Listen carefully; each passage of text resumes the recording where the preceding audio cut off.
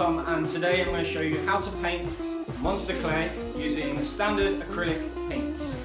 All you're gonna need, all you're gonna need, all you now all you're gonna need, now all you're gonna need, now all you're gonna need, all you're gonna need, now all you're gonna need, now all you're gonna need, now all you're going to need to follow along with this video is obviously some monster clay, some standard matte varnish, and some black primer spray.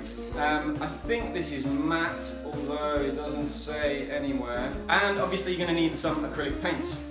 Okay, so the first thing you're going to need is obviously something sculpted in monster clay. This is just a head sculpt I was working on, never really finished it, um, and I don't mind using it just for this uh, demonstration.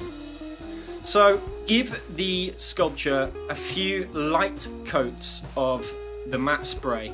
Hold your can about 30 centimeters away from the actual piece, doing very short uh, controlled bursts, moving over the sculpt as you go. I'm now going to hit it with a black coat of primer. As I said, you can use any primer, um, as long as it's okay for metals and plastics it might be a good idea to do a very light coat of primer to start with and then wait for it to dry and go over it and check it to see if you've hit all the, the recessed parts. Um, any places that you want it to be very dark and very shadowy, it's a good idea to get the primer in there. Uh, don't get too close to the sculpt when you're spraying because you'll get paint building up in the and pooling in the cracks, which is never a good idea. You're going to lose all of that lovely detail that you've sculpted. Um, and that's it. We're going to wait for this to dry So what I'm going to do is just quickly lay down some very basic base colours just to show you how well it takes the paint. I've just got a nice blue base colour here.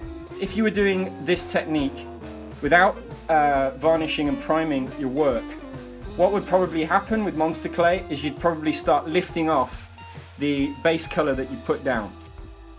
So this is, like I say, a very quick idea of what I would normally do an idea of what's possible when you follow the techniques that I've showed you today.